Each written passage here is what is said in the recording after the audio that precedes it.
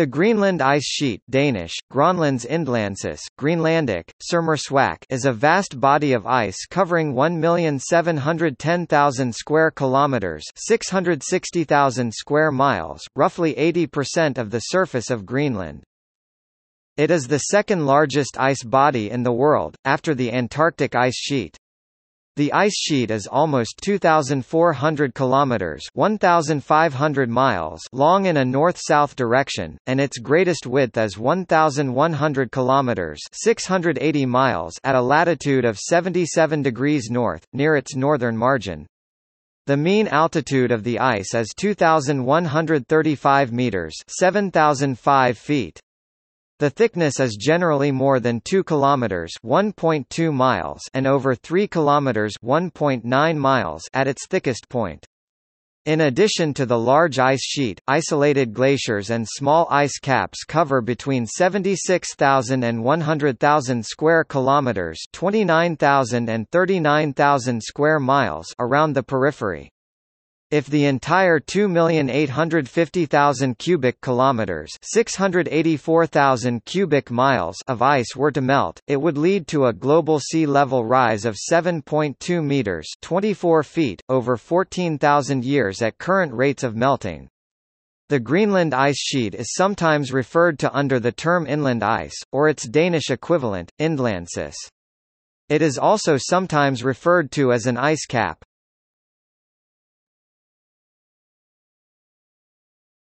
Topic: General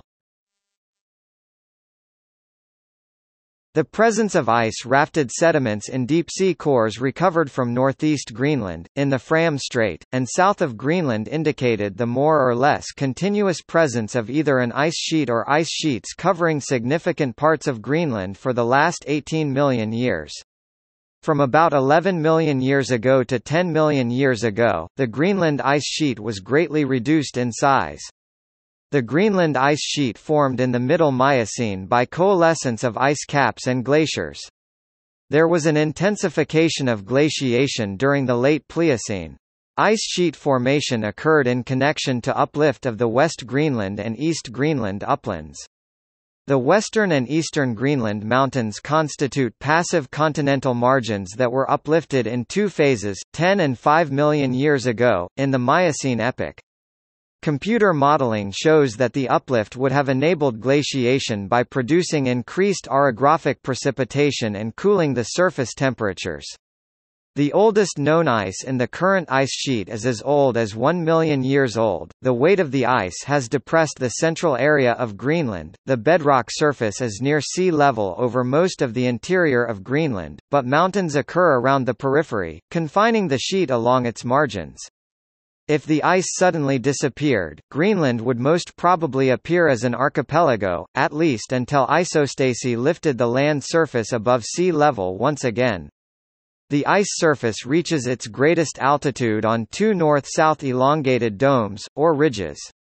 The southern dome reaches almost 3,000 meters (10,000 feet) at latitude 63 degrees to 65 degrees north. The northern dome reaches about 3,290 meters (10,800 feet) at about latitude 72 degrees north, the fourth highest summit of Greenland. The crests of both domes are displaced east of the center line of Greenland.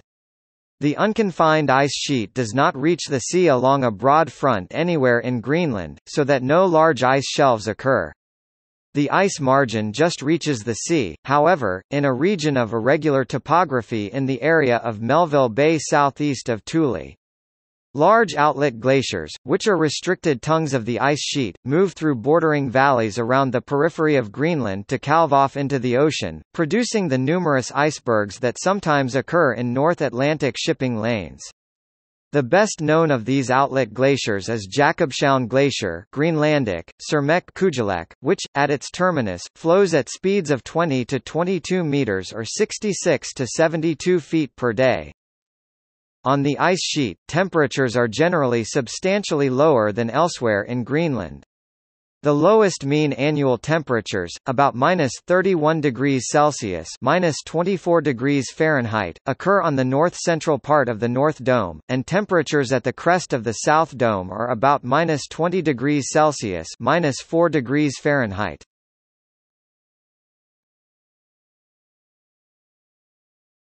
Topic: Change of the ice sheet.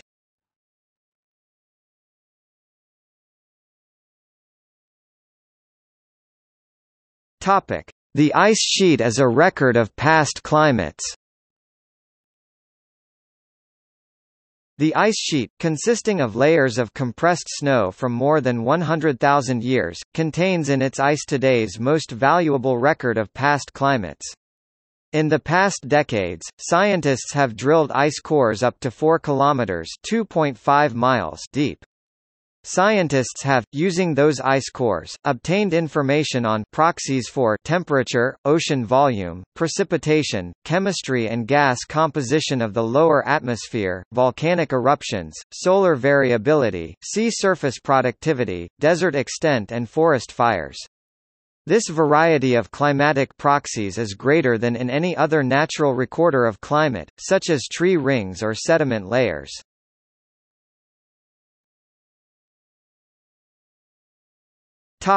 The melting ice sheet. Many scientists who study the ice ablation in Greenland consider that a 2 or 3 degrees Celsius temperature rise would result in a complete melting of Greenland's ice. Positioned in the Arctic, the Greenland ice sheet is especially vulnerable to climate change. Arctic climate is believed to be now rapidly warming and much larger Arctic shrinkage changes are projected. The Greenland ice sheet has experienced record melting in recent years since detailed records have been kept and is likely to contribute substantially to sea level rise as well as to possible changes in ocean circulation in the future if this is sustained. The area of the sheet that experiences melting has been argued to have increased by about 16% between 1979 when measurements started and 2002 most recent data. The area of melting in 2002 broke all previous records. The number of glacial earthquakes at the Helheim Glacier and the Northwest Greenland glaciers increased substantially between 1993 and 2005. In 2006, estimated monthly changes in the mass of Greenland's ice sheet suggest that it is melting at a rate of about 239 cubic kilometers, 57 cubic miles per year. A more recent study, based on reprocessed and improved data between 2003 and 2008, reports an average trend of 195 cubic kilometers, 47 cubic miles per year. These measurements came from the U.S. Space Agency's GRACE Gravity Recovery and Climate Experiment satellite, launched in 2002, as reported by BBC. Using data from two ground-observing satellites, ICESAT and ASTER, a study published in Geophysical Research Letters September 2008 shows that nearly 75% of the loss of Greenland's ice can be traced back to small coastal glaciers. If the entire 2,850,000 cubic kilometers (684,000 cubic miles) of ice were to melt, global sea levels would rise 7.2 meters (24 feet) over 4 14,000 years at current rates of melting. Recently, fears have grown that continued climate change will make the Greenland ice sheet cross a threshold where long-term melting of the ice sheet is inevitable.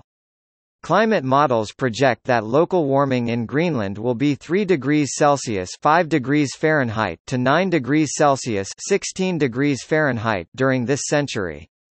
Ice sheet models project that such a warming would initiate the long-term melting of the ice sheet, leading to a complete melting of the ice sheet over centuries, resulting in a global sea level rise of about 7 meters 23 feet. Such a rise would inundate almost every major coastal city in the world. How fast the melt would eventually occur is a matter of discussion. According to the IPCC 2001 report, such warming would, if kept from rising further after the 21st century, result in 1 to 5 meter sea level rise over the next millennium due to Greenland ice sheet melting. Some scientists have cautioned that these rates of melting are overly optimistic as they assume a linear, rather than erratic, progression. James E. Hansen has argued that multiple positive feedbacks could lead to nonlinear ice sheet disintegration much faster than claimed by the IPCC. According to a 2007 paper, we find no evidence of millennial lags between forcing and ice sheet response in paleoclimate data. An ice sheet response time of centuries seems probable, and we cannot rule out large changes on decadal time scales once wide-scale surface melt is underway. The melt zone, where summer warmth turns snow and ice into slush and melt ponds of meltwater, has been expanding at an accelerating rate in recent years. When the meltwater seeps down through cracks in the sheet, it accelerates the melting and, in some areas, allows the ice to slide more easily over the bedrock below, speeding its movement to the sea. Besides contributing to global sea level rise, the process adds freshwater to the ocean, which may disturb ocean circulation and thus regional climate. In July 2012, this melt zone extended to 97% of the ice cover. Ice cores show that events such as this occur approximately every 150 years on average. The last time a melt this large happened was in 1889. This particular melt may be part of cyclical behavior, however, Laura Koenig, a Goddard glaciologist suggested that if we continue to observe melting events like this in upcoming years, it will be worrisome. Global warming is increasing growth of algae on the ice sheet. This darkens the ice causing it to absorb more sunlight and potentially increasing the rate of melting. Meltwater around Greenland may transport nutrients in both dissolved and particulate phases to the ocean. Measurements of the amount of iron in meltwater from the Greenland ice sheet show that extensive melting of the ice sheet might add an amount of this micronutrient to the Atlantic Ocean equivalent to that added by airborne dust. However much of the particles and iron derived from glaciers around Greenland may be trapped within the extensive fjords that surround the island and, unlike the HNLC Southern Ocean where iron is an extensive limiting micronutrient, biological production in the North Atlantic is subject only to very spatially and temporally limited periods of iron limitation. Nonetheless high productivity is observed in the immediate vicinity of major marine terminating glaciers around Greenland and this is attributed to meltwater inputs driving the upwelling of seawater rich in macronutrients.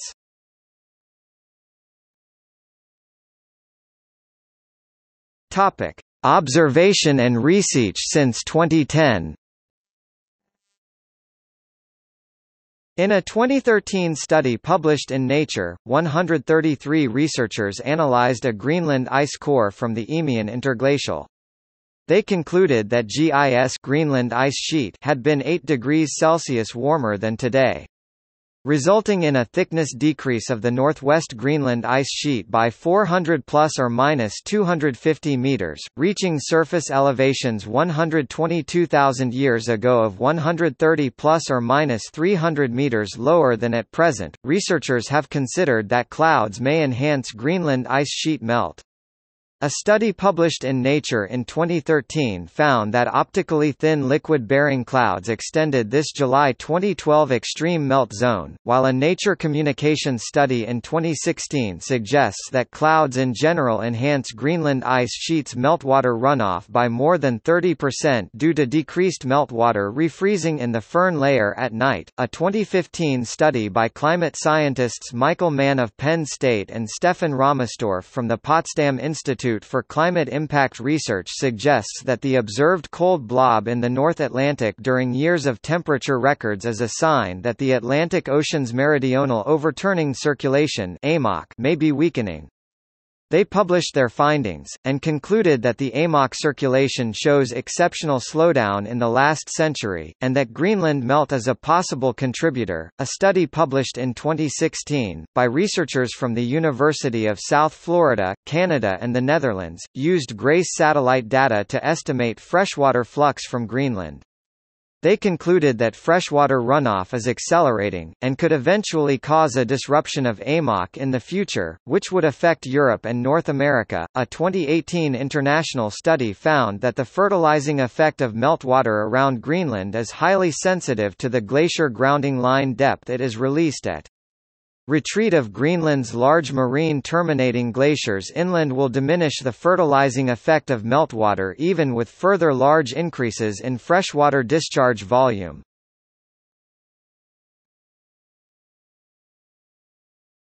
Topic: Melting process since 2000. Between 2000 and 2001, northern Greenland's Petermann Glacier lost 85 square kilometers, 33 square miles of floating ice. Between 2001 and 2005, Sermeq Kujalleq broke up, losing 93 square kilometers, 36 square miles, and raised awareness worldwide of glacial response to global climate change. July 2008, researchers monitoring daily satellite images discovered that a 28 square kilometer 11 square miles piece of Petermann broke away. August 2010, a sheet of ice measuring 260 square kilometers 100 square miles broke off from the Petermann Glacier. Researchers from the Canadian Ice Service located the calving from NASA satellite images taken on August 5. The images showed that Petermann lost about one quarter of its 70 km long 43 mile floating ice shelf.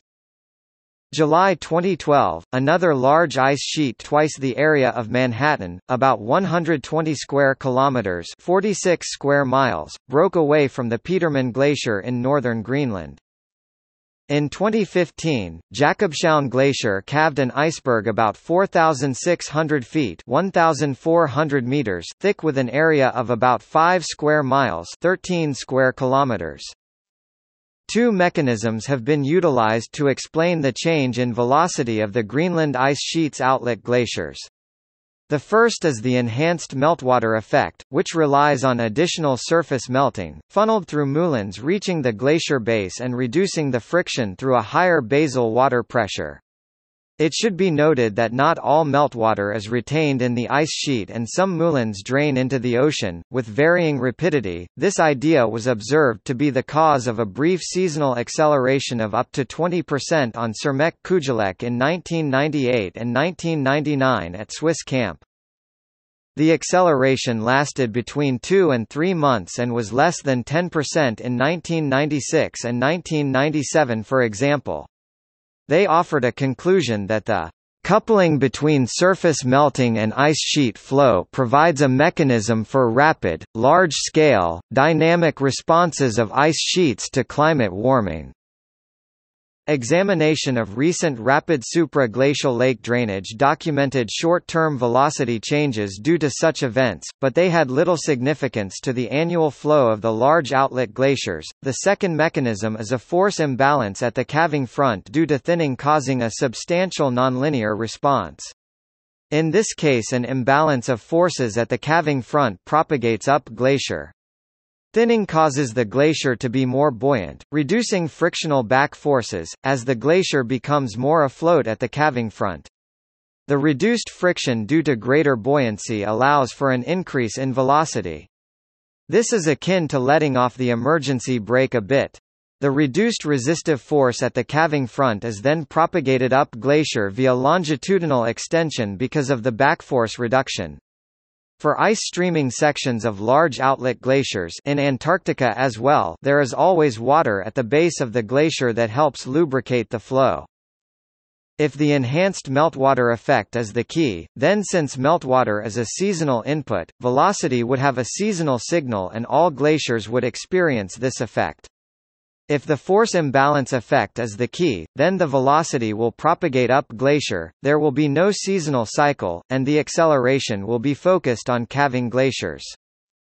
Helheim Glacier, East Greenland had a stable terminus from the 1970s–2000.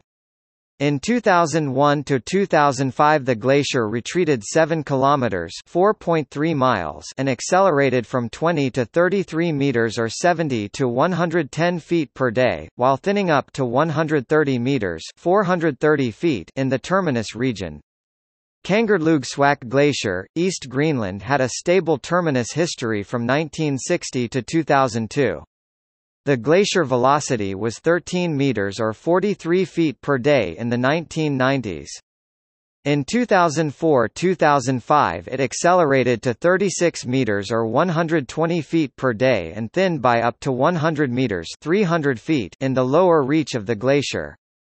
On Sermeq Kujalleq the acceleration began at the calving front and spread up glacier 20 km 12 miles in 1997 and up to 55 km 34 miles inland by 2003.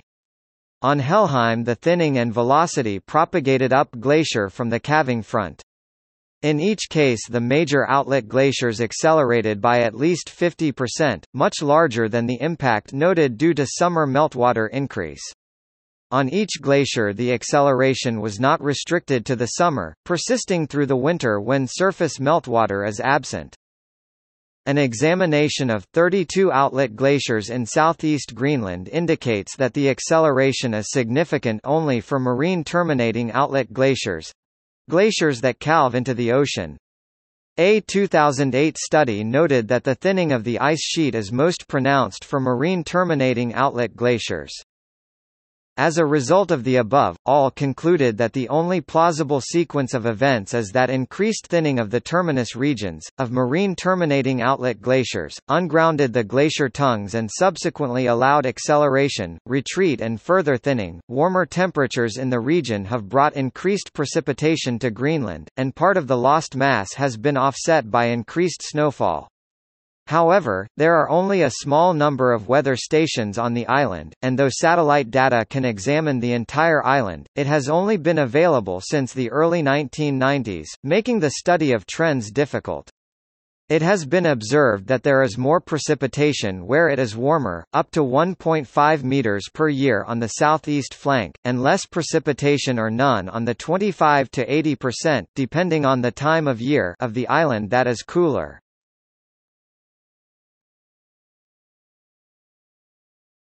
Topic: Rate of change.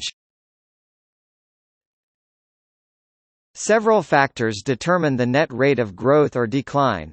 These are accumulation and melting rates of snow in the central parts, melting of surface snow and ice which then flows into moulins, falls and flows to bedrock, lubricates the base of glaciers, and affects the speed of glacial motion. This flow is implicated in accelerating the speed of glaciers and thus the rate of glacial calving. Melting of ice along the sheet's margins runoff and basal hydrology Iceberg calving into the sea from outlet glaciers also along the sheet's edge. Explanation of accelerated glacial coastward movement and iceberg calving fails to consider another causal factor, increased weight of the central highland ice sheet. As the central ice sheet thickens, which it has for at least seven decades, its greater weight causes more horizontal outward force at the bedrock. This in turn appears to have increased glacial calving at the coasts. Visual evidence for increased central highland ice sheet thickness exists in the numerous aircraft that have made forced landings on the ice cap since the 1940s. They landed on the surface and later disappeared under the ice. A notable example is the Lockheed P-38F Lightning World War II fighter plane Glacier Girl that was exhumed from 268 feet of ice in 1992 and restored to flying condition after being buried for over 50 years. It was recovered by members of the Greenland Expedition Society after years of searching and excavation, eventually transported to Kentucky and restored to flying condition. The IPCC Third Assessment Report 2001 estimated the accumulation to 520 plus or minus 26 gigatons of ice per year, runoff and bottom melting to 297 plus or minus 32 GT per year and 32 plus or minus 3 GT per year, respectively, and iceberg production to 235 plus or minus 33 GT per year. On balance, the IPCC estimates minus 44 plus or minus 53 GT per year, which means that the ice sheet may currently be melting. Data from 1996 to 2005 shows that the ice sheet is thinning even faster than supposed by IPCC. According to the study, in 1996 Greenland was losing about 96 cubic kilometers or 23.0 cubic miles per year in volume from its ice sheet. In 2005, this had increased to about 220 cubic kilometers or 52.8 cubic miles a year due to rapid thinning near its coasts, while in 2006 it was estimated at 239 cubic kilometers, 57.3 cubic miles per year. It was estimated that in the year 2007 Greenland ice sheet melting was higher than ever, 592 cubic kilometers, 142.0 cubic miles. Also snowfall was unusually low, which led to unprecedented negative minus 65 cubic kilometers, minus 15.6 cubic miles surface mass balance. If iceberg calving has happened as an average, Greenland lost 294 gt of its mass during 2007 1 cubic kilometer of ice weighs about 0.9 gt. The IPCC Fourth Assessment Report 2007 noted, it is hard to measure the mass balance precisely, but most results indicate accelerating mass loss from Greenland during the 1990s up to 2005. Assessment of the data and techniques suggests a mass balance for the Greenland ice sheet ranging between growth of 25 gt per year and loss of 60 gt per year for 1961 to 2003, loss of 50 to 100 gt per year for 1993 to 2003 and loss at even higher rates between 2003 and 2005. Analysis of gravity data from GRACE satellites indicates that the Greenland ice sheet lost approximately 2,900 GT 0.1% of its total mass between March 2002 and September 2012. The mean mass loss rate for 2008 to 2012 was 367 GT per year. A paper on Greenland's temperature record shows that the warmest year on record was 1941 while the warmest decades were the 1930s and 1940s. The data used was from stations on the south and west coasts, most of which did not operate continuously the entire study period. While Arctic temperatures have generally increased, there is some discussion concerning the temperatures over Greenland. First of all, Arctic temperatures are highly variable, making it difficult to discern clear trends at a local level.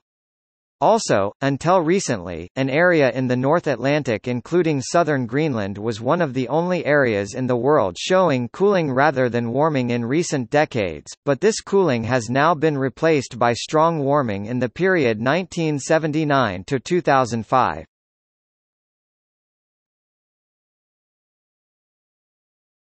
Topic. See also